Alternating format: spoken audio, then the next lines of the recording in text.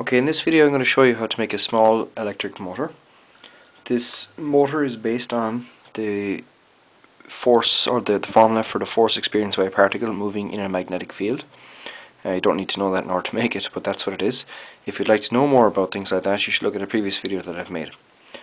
So, essentially what I have here in front of you is I have a AAA battery, which is on the table, and using uh, using just some electrical tape I have made kind of a, a, a, loop on either side of it and the loop goes down to one of the ends of my battery like so.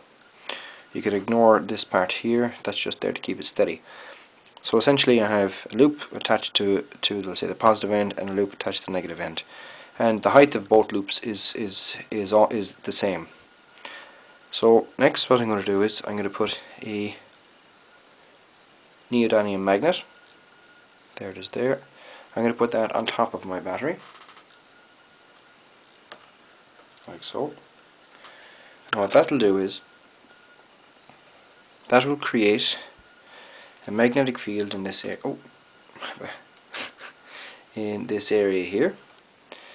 And what I'm then going to do is going to get a piece of wire, which I've already cut. You can just about see that there. Is that in focus?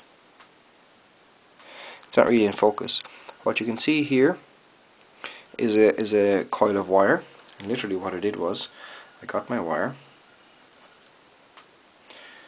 I got my wire and I wound it around another piece of wire like that. And I made a I made a piece of wire uh, I made a piece of wire with a coil in it. Or yeah with a coil in it. I know you can't see that very well but anyway now the points note in this, my motor is actually quite poor. I have I only have one type of uh, wire and I didn't really bother getting uh, strong heavy wire. So the wire I'm using is very very very light. Uh, for that reason it's not very good in this motor. Okay, it's literally one strand of a small piece of copper wire. But you can play with this yourself and it, it still works. So like once you understand the principles of course you can do what you like. Now the next thing you do is you put your piece of wire along the loops attached to the battery.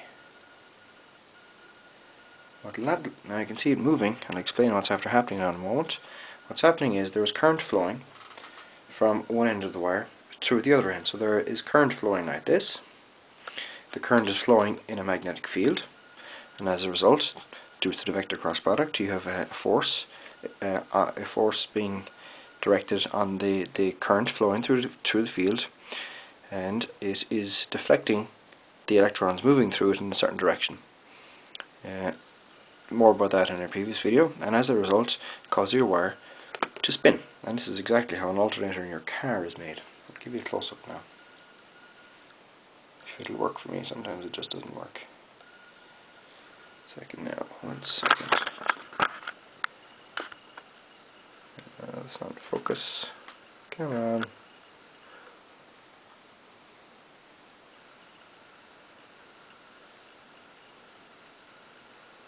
I don't think it's not really working for me today.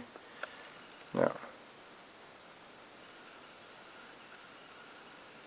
No, it's not really working very well, but the point is the same. I just wanted to put this video up so you can see how you, uh, see how you make a simple motor. And like I said, that is how you make a simple electric motor.